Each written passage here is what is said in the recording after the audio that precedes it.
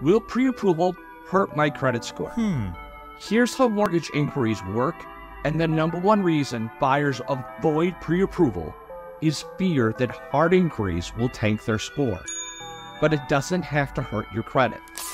Here's the key mortgage lenders can do a soft pull first to preview your credit information. This shows your score and report details without a hard inquiry.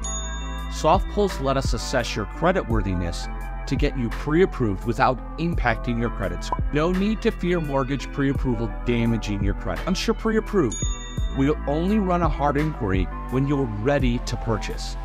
This is the final inquiry has and it has minimal impact. Get pre approved to know your budget and shop confidently without hurting your credit score. Remember, knowledge is power. Follow this page for more helpful information. And if you're ready to start the home buying journey, DM me with the word SAVE.